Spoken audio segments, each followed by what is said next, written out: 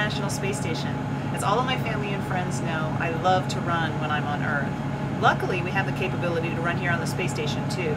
In fact, it's one of the uh, three exercises that we do on a daily basis to help keep our hearts and our bones and our muscles strong while we're here without the gravity pull of Earth uh, affecting our body every single day.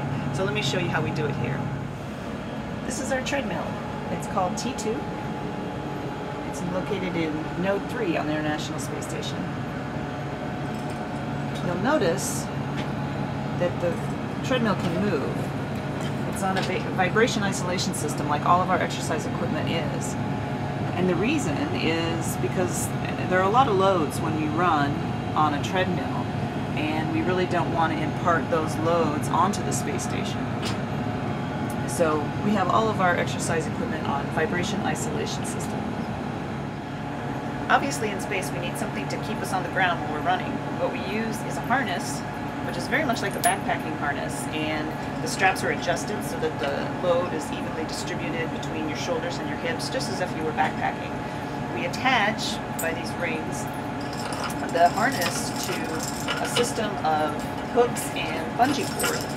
You can see there's some stretch in the bungee cord and then adjust and change the number of hooks that we use. Today I'm going to use four hooks. If I were to use three hooks, it would provide a little more load. If I used five hooks, it would be a little less load. And then in that way, we can adjust the amount of load on our body as we're running. The T2 is controlled by our laptop here in front of the in front of the treadmill. And once I'm all strapped in, I can go ahead and, and select a protocol. The uh, our trainers on the ground get protocols designed for us that we can use. The protocol, this is a um, interval protocol that I can do. And now you can see that there's a target load.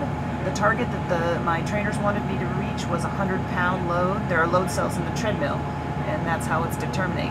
And you can see with the four hooks that I put on, it's pretty close to what the target load is.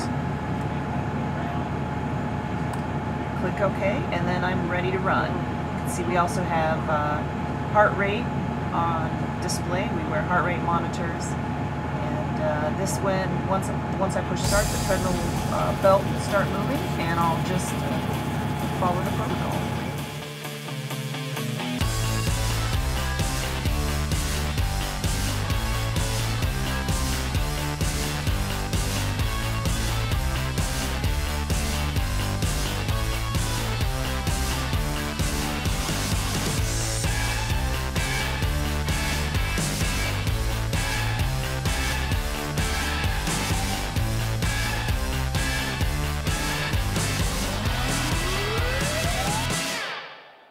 Run.